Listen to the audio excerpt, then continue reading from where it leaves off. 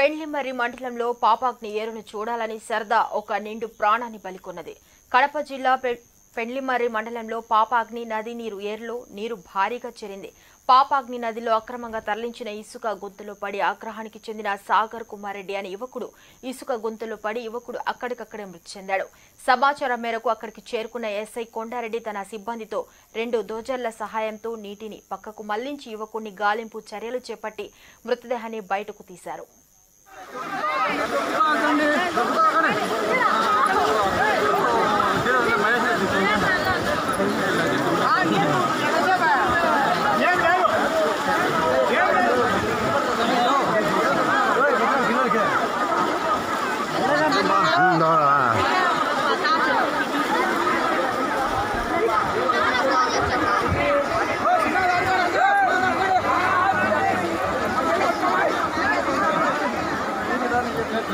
我来了。